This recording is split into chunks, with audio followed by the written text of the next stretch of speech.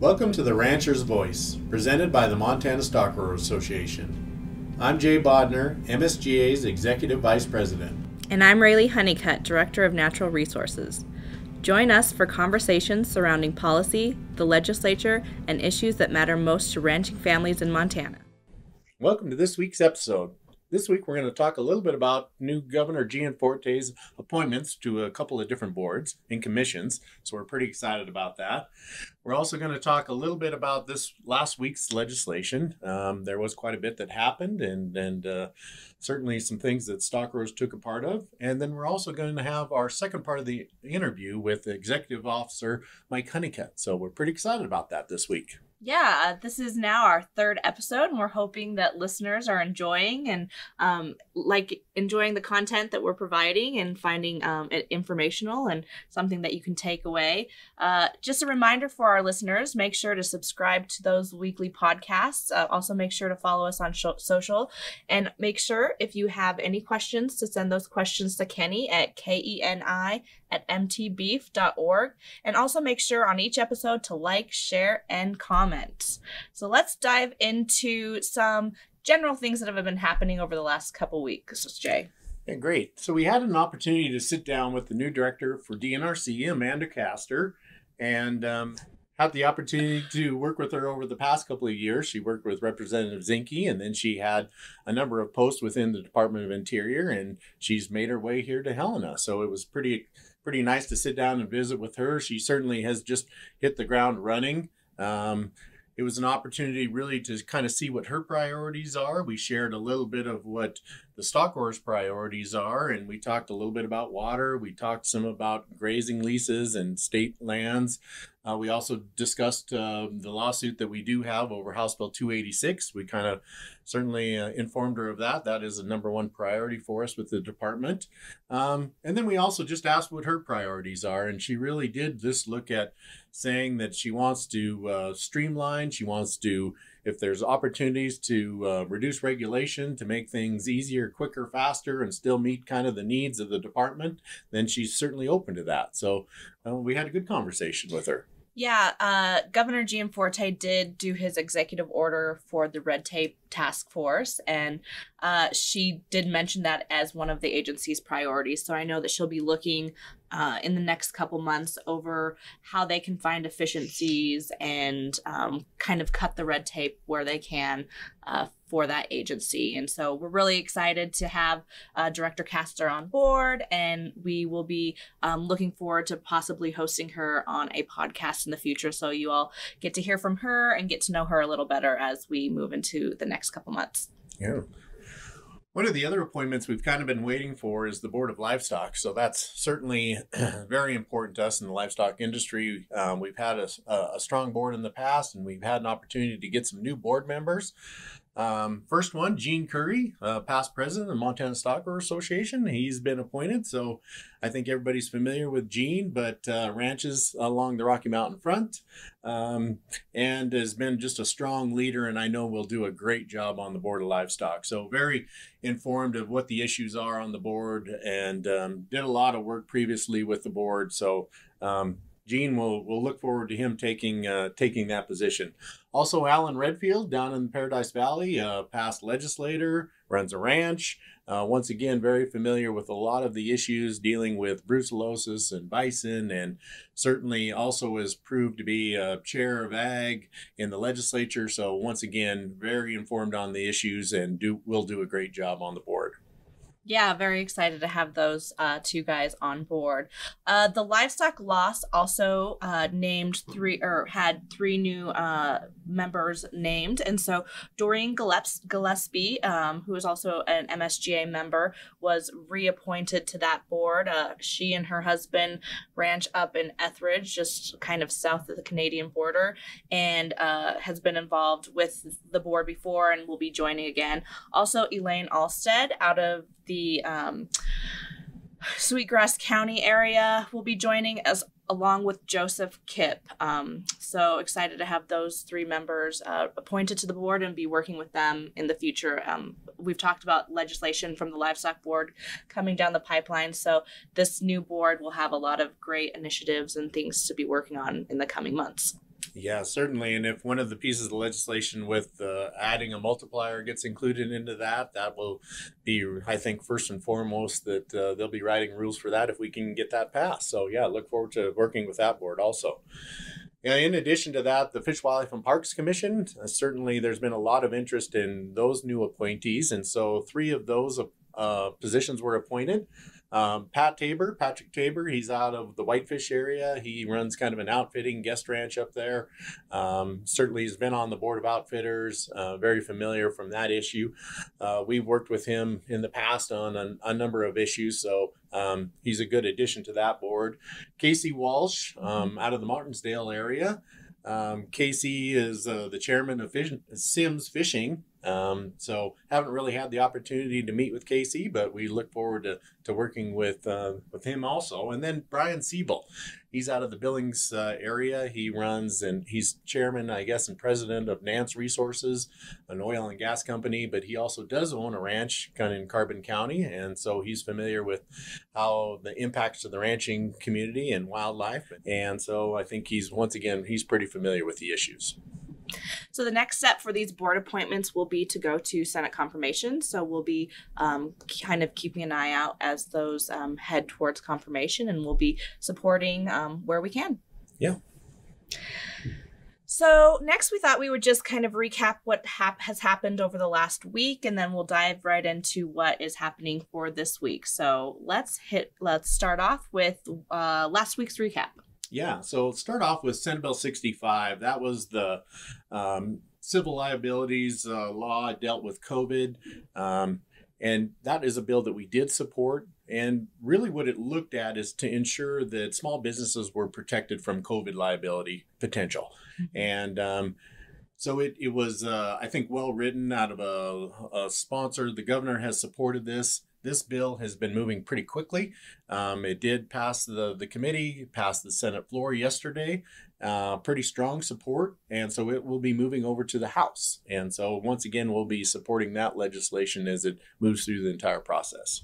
Yeah, and this legislation is important because it was one of the uh, key um, identifiers that Governor Gianforte pointed out as he kind of rolled out next steps for reopening the economy um, with COVID. Yeah, and I think as it relates to agriculture, so anybody anybody that has an employee, you want to make sure that you have some level of protection there. And so this does impact ag as much as it does every other small business in Montana. Uh, just kind of moving on, the Department of Livestock, they did have their initial budget hearing, and um, that's an opportunity to get in front of that joint subcommittee and and uh, as they as the the department lays out their budget we get an opportunity to also stand in there and support that.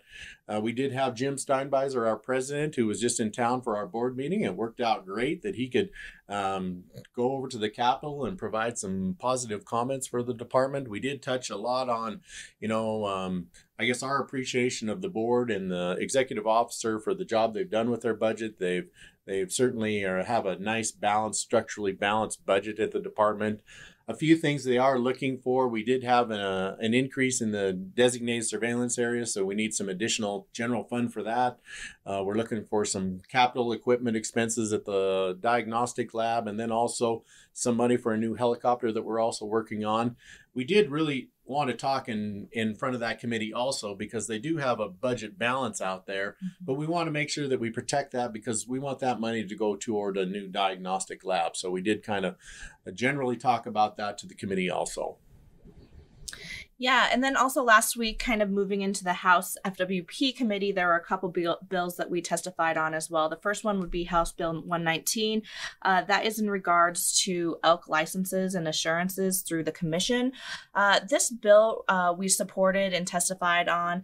It really was almost a cleanup bill from uh, a past language. So in 2019, some language was modified, and it was realized that the omission of the commission making the decision for that was left out. And so this bill brought the language back in to say that the FWP commission would um, issue those tags.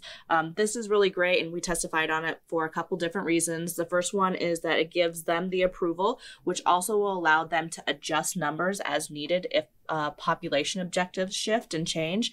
It also uh, allows for public comment and a little bit more transparency as those decisions are being made.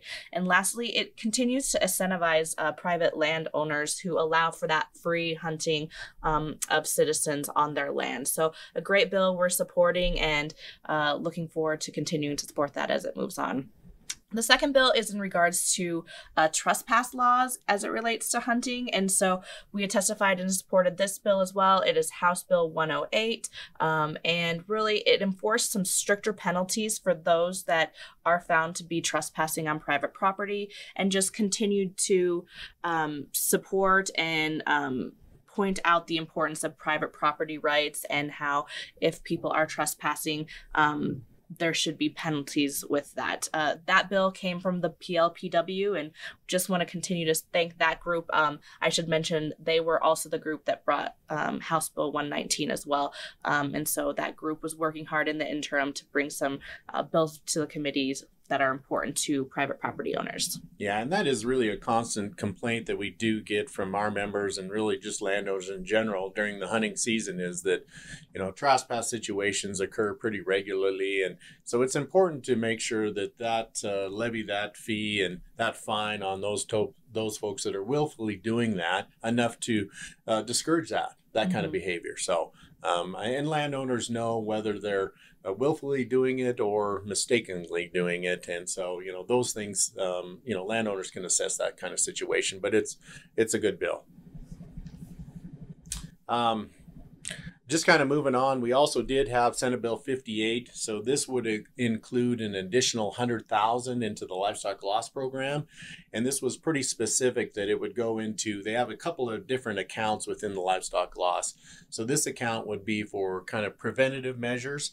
And that, that is important for us as we try new techniques. We try to implement either fencing or different techniques to try to reduce livestock losses for, for uh, livestock owners. And that's really our goal there. So this would put additional money into that. We think this is also a strong bill. We know that anything with general fund is going to get a, a, pretty serious look at, but um, we have seen a trend of you know increasing depredations. So this is once again we'd like to reduce those depredations on livestock. Um, just also kind of moving on, uh, we also did have Senate Bill 27. Uh, this would implement the multiplier, and this would go in front of the Livestock Loss Board. Uh, they would write the rules. We would be involved in that. But once again, we know that there are general areas, and I just had a conversation with USDA Wildlife Services today, and we were talking about specifically there are areas in the state where they've seen talking with landowners anywhere from you know six to one seven to one where that you have a confirmed loss to the numbers that you came in short so we know that this happens out there uh, in the state of montana and we want to make sure that um, you know livestock owners don't have to shoulder that entire burden yeah, so let's look at what is happening this week, uh, the week of January 18th. Uh, it was a lighter week kind of starting off. There was a federal holiday so even though legislature was in um, in session uh, a few fewer hearings than we probably would see in a typical week. Uh, but we did see one uh, in regards to natural resources and uh, water rights ownership. Yeah senate bill 55 this this um, bill came out of the Water Policy Interim Committee, and um, there was a lot of work, a lot of stakeholders that were involved in this. It really was looking at making sure that DNRC's database on water rights uh, is correct and complete as possible. Um, sometimes when uh, property transfers from one area to another, um, sometimes those geocodes don't get uh, documented correctly, and sometimes the water rights as they transfer from DNRC to the water court are incorrect. And so this was a process to ensure that all of that gets done as correctly as possible. And we think that's really important for us as landowners, as water right holders, to make sure that any transfer of property, this gets done correctly.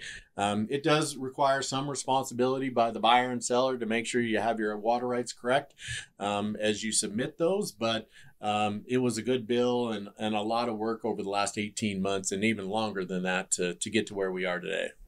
Yeah, in addition to us uh, testifying, uh, the Senior Water Rights Coalition testified as well, which we are a part of. And I think what Jay just pointed out is super important. Uh, the information is that DNRC has is only as good as the information that they have. So there is um, some responsibility for that buyer and seller to get um, up to date and prompt information to them, so that when decisions need to be made, that database is accurate. Yeah. All right. Uh, moving on to later this week, um, on Tuesday, uh, the House FWP committee is going to be hearing a bill from Representative France uh, in regards to establishing a hunting and fi- uh, angler community fund. Now, this uh, we are in a support of, and it really creates a do- donation based uh, grant program for communities that are impacted by hunting and fishing within their communities. So, it's a great bill. It will kind of show some appreciation to those communities and landowners and and where they live on giving back a little bit. Um, details are a, are still to be hammered out a little bit, but we really feel like this is a great bill. We're really um, happy to support it, but there are opportunities to kind of simplify. Uh, current uh, the current bill kind of reads that uh, you know a new governor appointed boards could be happening, and how the funds get distributed are a little. Um, yet to be determined, I guess. And so we're looking forward to kind of working with the bill sponsor and folks to kind of continue that conversation on how to simplify it and get that money into communities. Yeah. Just kind of moving on, we do have um, House Bill 14. So this is the long range planning bill. And so this bill uh, includes all of those large capital investments for the state. And so within that bill, um, we have the new veterinary diagnostic lab. So that is a, a big priority for MSGA and really for a lot of the ag groups. Uh, this bill is going to be heard over a couple of different days, um, pretty extensive. So we're going to be out there testifying. And so if there's some interest just among kind of our listeners, um, this is a bill that you know, reach out to that committee and say that you know you do support the veterinary diagnostic lab. We know that the lab does a great job. Uh, they have a great staff. They have good equipment, but it's just an aging facility, mm-hmm. and it's time to to look at some upgrades. And one of the nice things that uh, we can bring to the table once again is that we have some money in the bank uh, to offer up to help fund that. And uh, that's a little different than some of the other um, programs and, and capital investments that are within House Bill 14. So, and I think your point about reaching out is so important because it is House Bill 14 and it is long range planning for building and bonding across all of state government. We don't want that veterinary diagnostic lab to kind of get lost in the mix. Um, and we really want to um, show up with a strong support for that for that funding. And just kind of moving on, we do have Senate Bill 98. This is by uh, Butch Gillespie um, out along the High Line. And uh, this bill looks at grizzly bears and grizzly bear take. So you have state statute that um, actually would allow grizzly bear take for livestock or for if if uh, so you could uh, take a grizzly bear if it was um, uh, basically killing livestock or threatening you as a person. Uh, this would be an expansion of that definition. So if it was threatening or killing livestock, you could take a grizzly bear. And once again, this is state statute. Um, so as these bears are still listed under the federal government under ESA and the Endangered Species Act, uh, that is the rules that kind of trump uh, management of grizzly bears. So make sure that you know producers you don't get in trouble with this issue. Yeah. And then there are uh, a handful of other bills that have hearings this week that we're watching. So, first one is Senate Bill 103. It's regarding revising embryo transfer technician licensing. Um, that is uh, in the Senate. Uh, we also have uh, Senate Bill 105 regarding penalties for trespassing as it relates to state land or FWP lands and connect, collecting antlers and sheds and horns. Uh, House Bill 163 is a revised bill to increase the number of commission members for the FWP Commission. We will be watching this one, but we do know that um, and are anticipating seeing a bill coming from the Senate side that uh, helps define what those commission seats, if they were to be increased, would look like. So, uh, kind of anticipating that, and we'll be addressing that and tracking that bill coming down the pipe. Uh, and then House Bill 138, which revises some trapping and snaring tag requirements. And last, we have House Bill 86, which is the creation of regional fire protection authorities. Um, and Jay, we've seen this uh, bill before in a different uh, version. Yeah, we did. We uh, have seen it previously in a special uh, session that the legislature had a couple of years ago, and then also last session. Um, and there was some opposition to it, and uh, that included MSGA. We were concerned about landowners being involved and really the costs involved with that. We do recognize certainly the importance of fire protection and developing these types of authorities, but we want to make sure there's a strong landowner voice. This did get heard over the interim policy Policy Committee. Uh, they did work up this bill, and it is uh, does allow for a strong rancher voice in in creation of one of these. So I think at this point, MSGA, we don't have enough policy to support, uh, but I don't see us taking any position, but uh, certainly in an improved version of this bill. So, as you've heard, there are a lot of bills um, hitting committees this week, and we'll be continuing to testify and track those as they come down the pipe.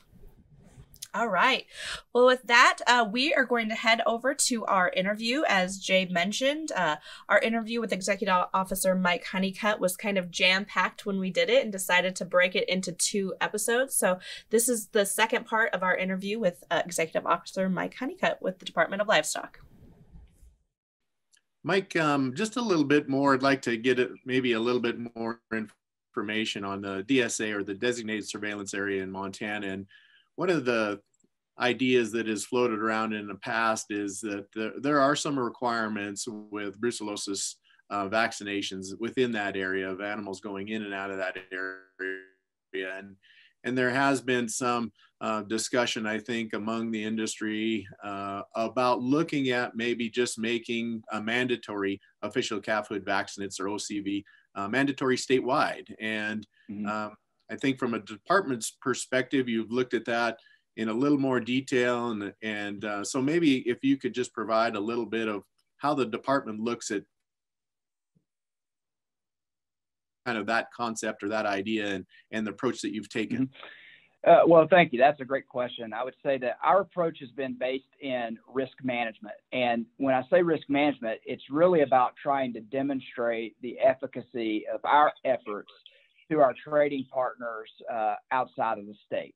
Uh, you know, not as much what's happening within the state, but we certainly know that our big risk if we don't manage this brucellosis reservoir uh, that we have in the greater Yellowstone area, that we could see stricter import requirements from the states that we ship animals to. So we could see mandatory testing, for example, of all cattle coming out of Montana. Um, and so our approach to looking at how we manage the surveillance area and the vaccination requirement area is about being able to demonstrate to those trading partners that we know where our risk is, we're properly surveilling that risk, uh, and and we've got safeguards to make sure that we don't ship brucellosis positive animals out of that area of our state.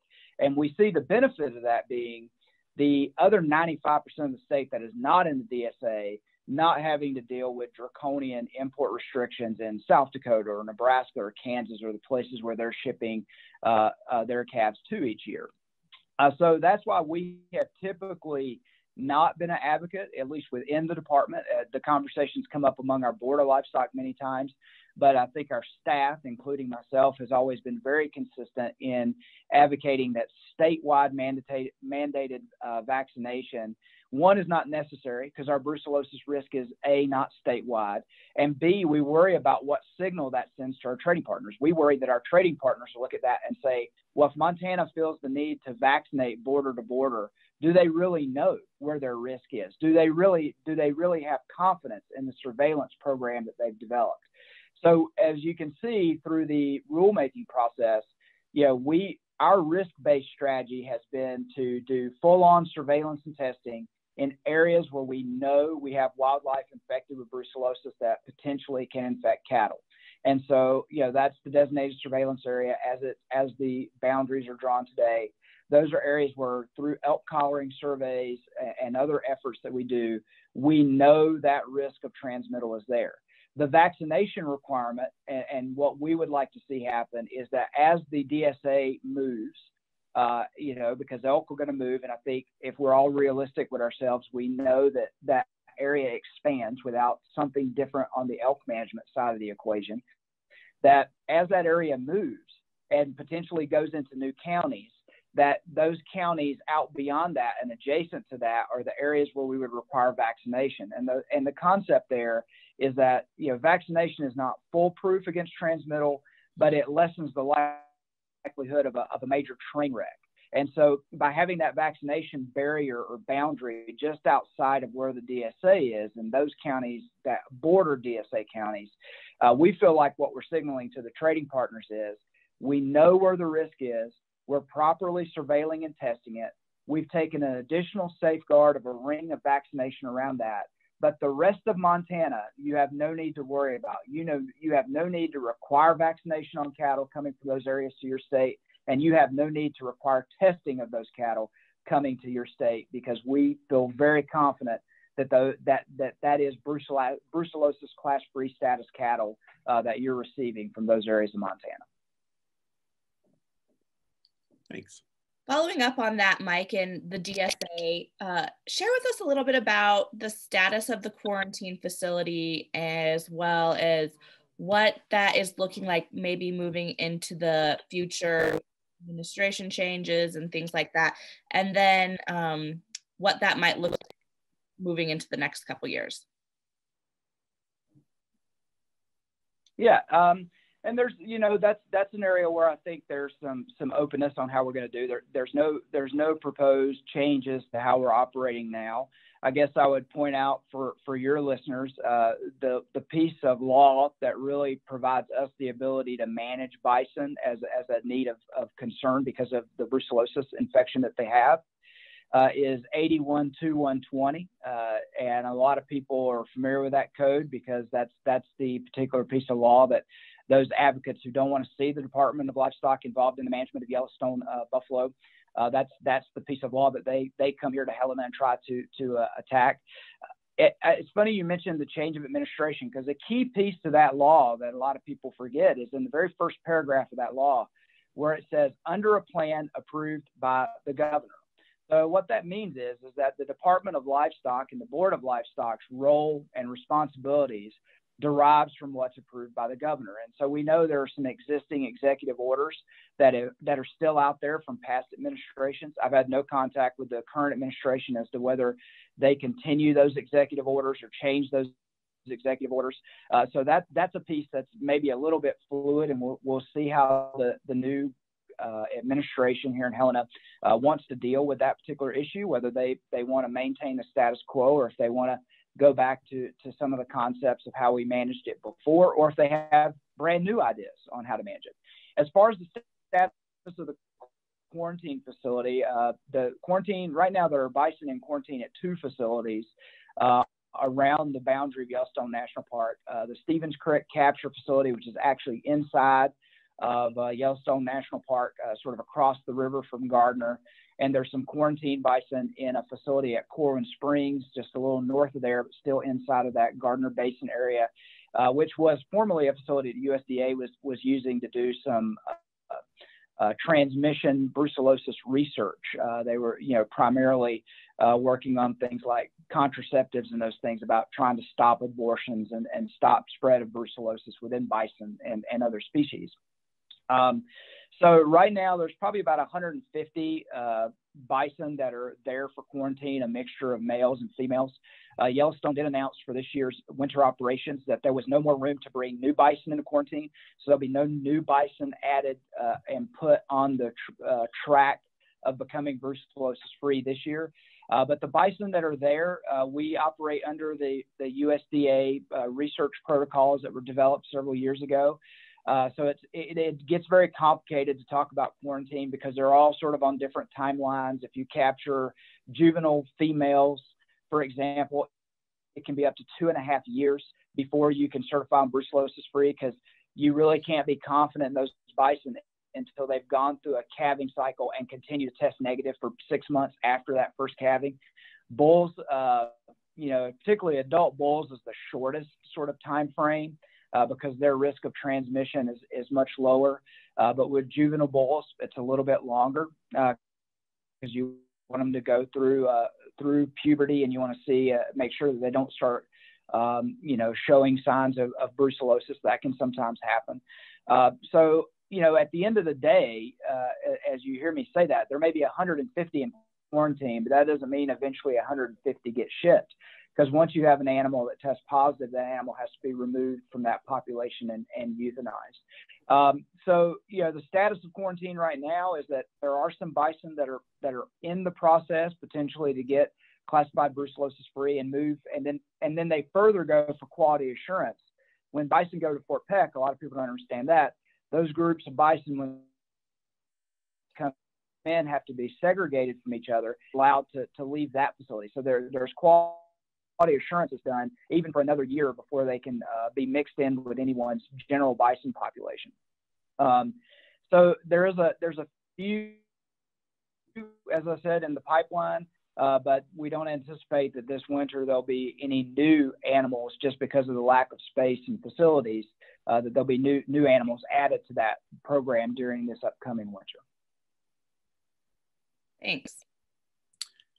Um, so Mike, you mentioned a little bit about USDA, and so one of the other um, kind of national efforts of BIN has been from USDA is to look at some of these RFID tags, the radio frequency tags, and um, maybe trying to um, look at implementing that uh, to track animals more efficiently. And um, so they've thrown out a proposal. I know that the, the department has provided some comments along with our organization and and uh, so I just kind of like to kind of hear what you think from a department's perspective, um, how that process may work and how that may, uh, I guess, Im Im impact uh, Montana producers. Mm -hmm. Yeah, the, the RFID tags always, and, and mandatory RFID tags is always an interesting conversation around this office. I mean, I think most people would, would understand and respect that our our veterinarians uh, uh, love the concept. It makes it, it, makes their job tracking animals and and for certificates of veterinary inspection and those types of things much easier from a regulatory side if you're doing animal health regulation. Uh, but we have a producer board, and so when that conversation goes to our producer board, there's always a lot more skepticism about it. Uh, you know, we did make comments on the the recent uh, proposed changes uh, for you know animals moving out of state uh, unless they're going direct slaughter, uh, requiring RFID tags, you know, in 2023. And kind of what we've put forward, you know, through the board, and, the, and those comments were the comments of the board board of livestock, uh, and vetted through that through that group, is that you know before we get too strong in in mandating the use of this type of technology, there's just a lot of unanswered questions. Um, you know, what is the technology going to be that we're going to use, or is it, it ultra high frequency tags? How are you going to account for the different readers and the different things that people need? Uh, I think a big question that comes up uh, here is who pays the bill? Who, who is the end recipient of the benefit of that? And are they sharing in the cost of that, or is all that cost flowing down to the front end producer who's who's maybe initially putting in the tag. And as we all know, uh, when you're when you're counting your margins, if you're blessed enough to have margins, sometimes in dollars, uh, you adding three, four, five dollars of expense can and very quickly take away what little bit of margin you had. So that's that's a concern of who's paying the bill. And so we we continue to support that as long as USDA wants to mandate that. There should be uh, some funding available uh, for producers to help offset that cost, or some way of making sure other people in the supply chain who are benefiting from that are, are also sharing in that cost. And it's not just our producers on the front end. Another concern here in the department is obviously around brands. Brands is very uh, important to this department. It's very important under Montana state law. It is the prima facie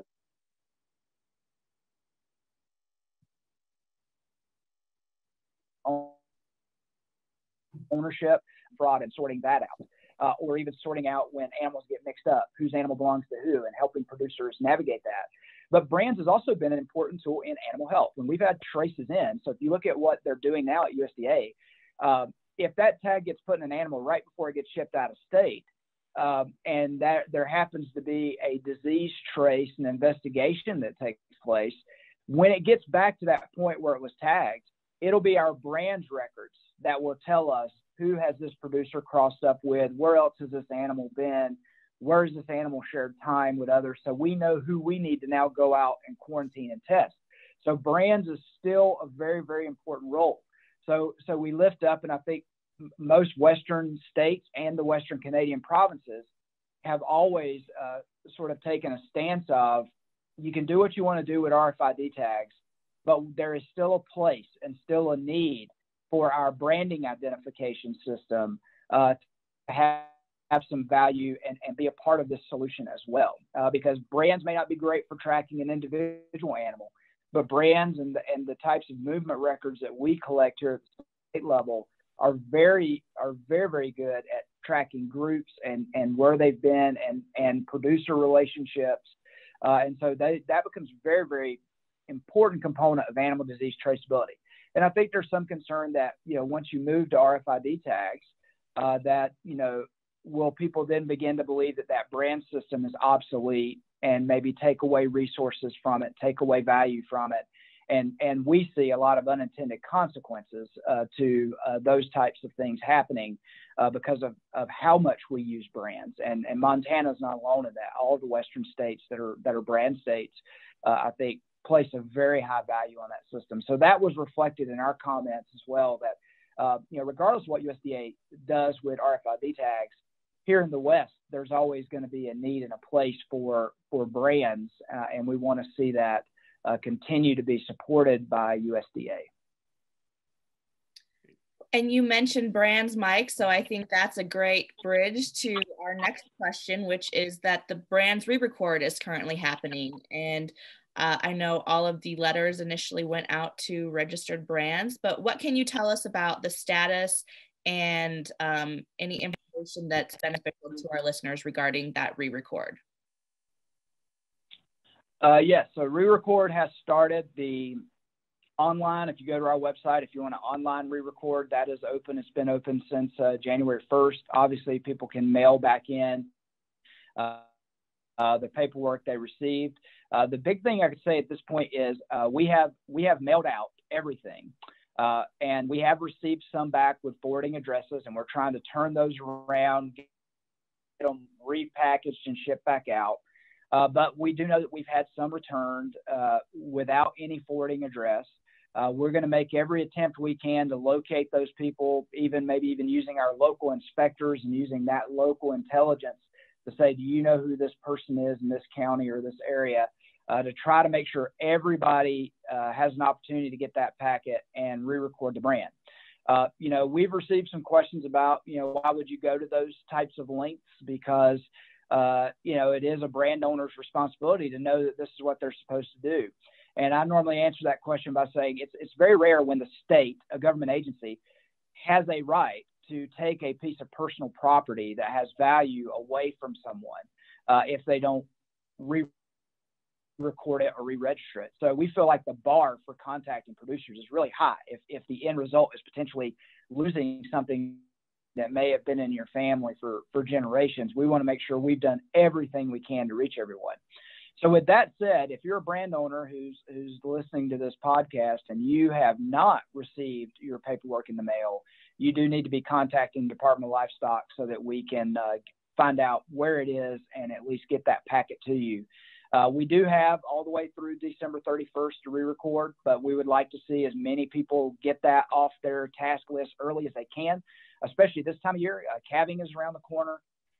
Um, you know, lots of things that people are going to have to do for our for our producers out there who uh, outside of ranching also farm. They're going to get into planting. They're you know, we're just the year is not going to get any better in terms of of having time to to deal with an administrative task like turning this around and getting it set back into the department. So we hope people uh, jump on it early so they don't forget it and we're not having to make a lot of effort later in the year to, to reach a lot of people. Uh, so far, you know, uh, estimates, and this is clearly an estimate, but we think we've already had about 10,000 returned, which is good. I mean, for a weekend, that that's that probably equates to about 30% of the brand owners uh, that are out there that that we contact. So having that done in the first week and seeing that flow of mail come back in uh, is is is really critical. Um, you know, some things that I would I would mention, some things we've gotten questions about early on uh, from from producers. Uh, one thing we do know at this point in time, if they go, if they haven't looked at that letter yet, is that uh, w- the brand owner name it pulled in the primary contact. So you know, we've had lots of questions of saying, uh, well, you know, this brand is in uh, Mike Honeycutt and Jay Bodner, but it says brand owner only says Jay Bodner. Well, that's because Jay Bodner is the primary contact. So, so if people see that, I would say that if you feel like you need to verify that the brand ownership is correct, uh, please call us. But but if you uh, but if you see that that one of the issues there is it was pulling the primary contact out of our database, not necessarily the full long legal name uh, that that brand might be uh, registered to, or the LLC, or, or things of that nature that the brand was registered to. Uh, we've had people ask about, you know, why locations of the brand uh, was not on uh, the paperwork that went out.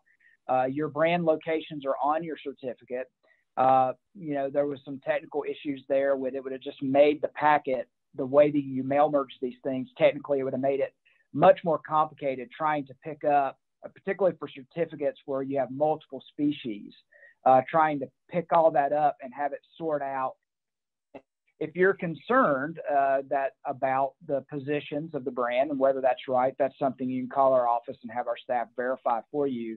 Uh, but what but I can tell to be rest assured that the positions you have on your brand certificate is what's in our database. We just didn't pull that out and put that in the notification uh, because of uh, some complications that would have caused on the technical side.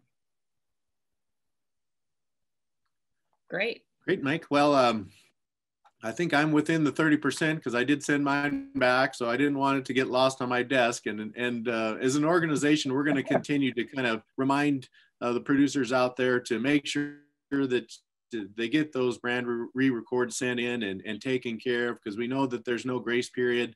And so we want to make sure that producers do have that opportunity to, to make sure that they get that done.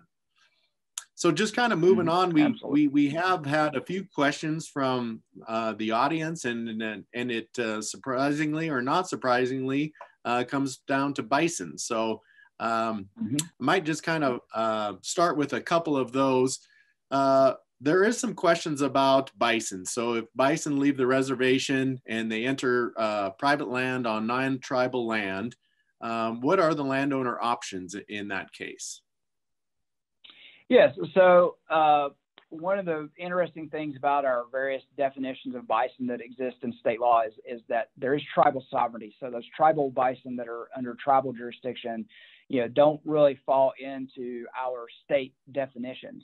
However, we would still uh, consider that, that uh, to be feral bison, and, and I would encourage people if they're having issues with that uh, to contact their local district investigator with our department and make them aware of that. Uh, and uh, that district investigator would try to help them in determining ownership. If it is tribal bison, that district investigator can make contact with the appropriate tribal authorities to try and make arrangements for that animal uh, to to get back where it's supposed to be and on the property it's supposed to be on. So that is a Department of Livestock issue. That's what our our district investigators are out there for. No different than if you've got your neighbor's cattle uh, across the fence on you, just like you would call them for those particular issues. Uh, for those bison issues, I would encourage you to call our our district investigator. Um, and you know game wardens uh, because tribal bison is a little bit different. It's not clearly in the department of livestock court. It's not clearly in the fwp court but i would hope that your your game wardens uh, would be helpful there if you've got a relationship with a local game warden to try and help you sort that out. But the one thing i can say with certainty is is that our staff our district investigators if you call them uh, they should help you with that issue. Great. Thanks and you did mention, I think a part of that question dealt with classification, but you mentioned those those bison. You would look at that as feral bison, and I know that in state statute we do have a definition for that. So Um, Mhm. That's how really the department would be looking at that. Exactly. Yes. So another. Yeah, and I I don't know. Oh, go ahead. Oh no, go ahead. Oh no, I was just going to say, you know, it's always good to sort of uh, sort that out. That there are wild bison, which are those bison uh, that are not owned by a person, uh, so they're held in the public trust, uh, or have not been reduced to captivity. So that applies to to things like Yellowstone bison, uh, obviously, because they're held in the public trust. They're they're property of the government. Um, domestic bison. excuse me, domestic bison are those bison that are owned by a person or a corporation. Um, and so once something's been owned uh, by a person or a corporation, that, that has to be a domestic bison that should be paying per capita to the Department of Livestock.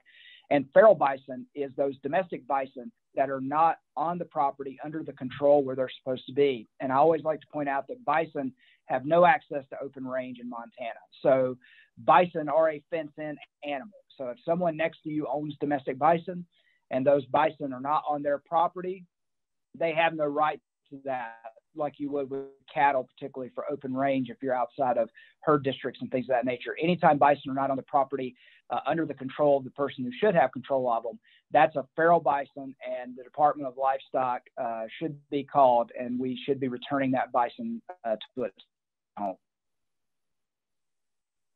Great. Great. Thanks, Mike.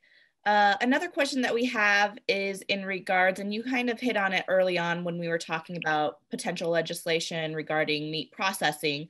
But from a meat inspection standpoint, um, there is potential for new legislation to be coming down the pipeline. And uh, we just wanted to hear from you what are those potential impacts regarding meat inspection and uh, Department of Livestock staff and staff resources if um, more capacity does open up? Mm-hmm. Uh, that's a very good question. Obviously, you know, so the first thing I would start with is that, you know, federal uh, law is what governs meat inspection in the United States. We do have some state laws, but to be able to get federal funding, to be able to operate an inspection program, it is required by law that there, there's 27 states like us that do that. We're required by law to meet or exceed federal law. So as, as you talk through that, a concern I have is that, you know, I do hear ideas and concepts from time to time that people want to bring forward that they think would be helpful that potentially would put us in a place where the state law is now weaker than the federal law. A potential consequence of that is that we, because there's federal primacy on this issue, that we lose our ability to operate a state program. We lose the funding, we lose any legal mandate to be able to do it. And so all those processors that whether they're retail, you know, getting slaughter inspection with a USDA mark of inspection from us, or custom exempts or meat depots, all of those licensed entities would then have to derive their license from license from the USDA. They would have to deal with federal inspectors, not state inspectors, uh, and uh, so we're allowed to do that as long as we meet or exceed federal standards. Um, and so the staffing impact there is, is that we would not have meat inspectors in Montana if the federal government ever made that sort of determination about Montana's program. So I do worry about pieces of legislation that may go too far and stray into that area that that potentially brings that into play. I do believe and I do support that there are a lot of things we can do. Now, most of them have to be done on the federal side. You know, lifting the the uh, moratorium on state inspected USDA and state inspected facilities with the USDA market inspection being able to sell their product across state lines. I, I, think there's some common sense things that can be done there that would open up more marketing opportunities, make uh, entice our current processors to grow capacity, maybe provide incentive for new people to enter in and get into the industry. Uh, there's certainly a lot we've got to do on the labor front to make sure there's labor to work in these facilities if we're going to grow them, because that usually becomes a big limiting factor on the ability to grow these businesses and grow the capacity. Um, but you know those things that we do on that side, if there's things we can do that keep us within that uh, uh, meets or exceeds standard, but help grow processing capacity, uh, particularly retail processing capacity, where you have to have an inspector there every time you slaughter animals. That probably does mean more boots on the ground. So that means uh, more appropriation from the legislature towards that program. That means Department of Livestock adding FTEs, adding inspectors to be able to handle that. Uh, we, we have a little bit of uh, flexibility uh, and I guess what I'd call uh, unused capacity in our program now. Over the last two bienniums, we actually pressed because we knew if we saw an expansion in meat that we wouldn't be ready for it. And the legislature thankfully uh, worked with us on that. Uh, to give us a little bit of extra capacity, we, we brought on two relief inspectors during the last biennium who aren't assigned to plants. They can go anywhere we need them to go. So we've got that built in, but if we overrun that, then we would we would eventually be adding even more people, which means uh, we would have to have the expense, uh, uh, not just of, of paying their salaries, but there's obviously training and certification they have to go through. Uh, there's a vehicle. We got to have a vehicle for them to be able to get to where they need to get to. Have the you know personal protective equipment, safety gear that they need to be able to do the job. Uh, so there's operational expense uh, that gets added there as well. So there is a budgetary appropriations uh, factor to that if we grow uh, meat processing, in that our program sort of has to grow along with that over time. So I think that's a wrap for this week. I'd like to thank everybody for joining us. Um, uh, once again, we um, we very closely monitor all these bills as they come up for the week, and then we look toward the next week also. We're also up at the Capitol and, and visiting with legislators and, and gaining kind of their ideas and what may be coming down the road. And so it's a good opportunity for us. So once again, we'll share all those uh, that information as we learn it on our end. Definitely. And I think it's important to note that this session is more um, engaging from people from the outside than ever before. So if you have an interest in any of the bills that we're mentioning, always feel free to reach out to us. Um, we're more than happy to uh, be a resource for our listeners. But in addition, there are opportunities to testify via Zoom if driving into Helena is not something that you're interested in doing. So just a reminder, if you are interested in doing that, to make sure you need to register for that the noon before the day of the hearing. So if the hearing is on Tuesday, you have have until noon on Monday to do that. You'll get a link sent to your email, and then once the hearing starts, you just click on that link and they will call you in to testify as it's your turn. Yeah. So, with that, we'd like to thank everyone again for joining us on our podcast. Make sure to subscribe to our weekly podcast, follow us on Facebook, Instagram, YouTube, and Twitter, and always make sure to like, comment, and uh, share each episode. If you have any questions, feel free to send those to Keni at K-E-N-I at mtbeef.org. And we'll thank we thank you and look forward to talking to you next week.